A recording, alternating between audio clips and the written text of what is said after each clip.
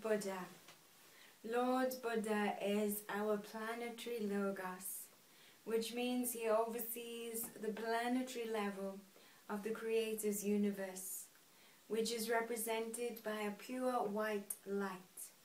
Lord Buddha has achieved enlightenment and has existed on the earth in many lifetimes.